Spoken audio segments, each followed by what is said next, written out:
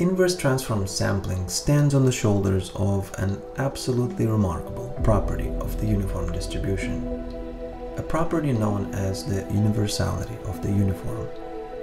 It says that if, for example, you start by sampling a random variable x from the normal 2-2 distribution, and if you then form another random variable y by plugging x into its own CDF, the new random variable y you will obtain will have the standard uniform distribution.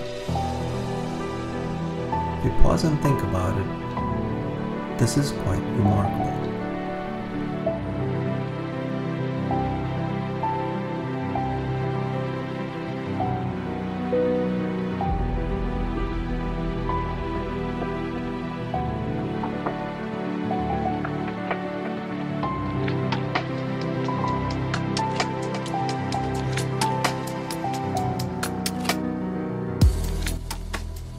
But the truly remarkable thing is the absolute generality of this result.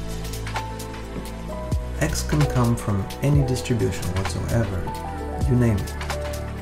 But after plugging it into its own CDF, we always, always end up with a standard uniform random variable. This is nothing short of incredible.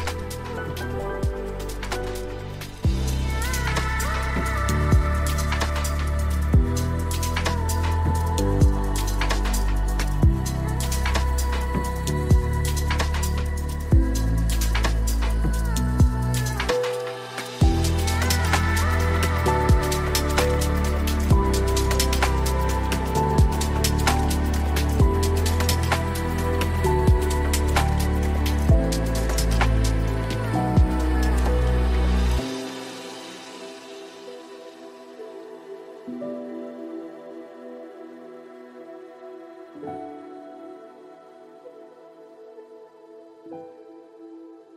you